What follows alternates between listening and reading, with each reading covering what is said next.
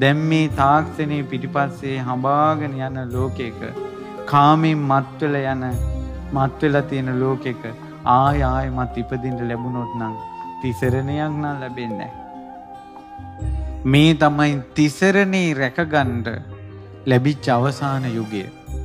අර දෙවිවරු පණිවිඩයක් දුන්නේ මනුස්ස ලෝකෙට ගිහිල්ලා උතුම්ම දේ අරන් ඉක්මනට වරින් එක තමන්ගේ කියලා කරගෙන කියලා. ඒ වාගේ මොන ප්‍රශ්න තිබුණත් කෝටියක් කංකටලු තිබුණත් බණපදයක් අහන එක නම් නතර කරගන්න එපා. ධර්ම දේශනාවක් අහන්න නැතුව එක දවසක්වත් ගෙවෙන්න දෙන්න එපා. මේ දහස් ගණන් බත් ඇට තම්බ තම්බ කෝටි ගණන් කකා බිබූ හිටපු ජීවිතවල මේ අත්වලින් කිරියා රදලා මේ උතුම් ධාතු සෑවල් වලට පුදන්න. බෝධීන් වහන්සේලාට පුදන්න, මලින් පුදන්න, ජීවිතේ පිනෙන් පුරව ගන්න. මැරෙන කොටත් කිරිසුදු පාටින් බබලන ලලාට ධාතු සෑය පේනවා නම් කොයි තරම් හොඳද? හිත පහදවා ගන්න නැත්තම් කොයි තරම් හොඳද?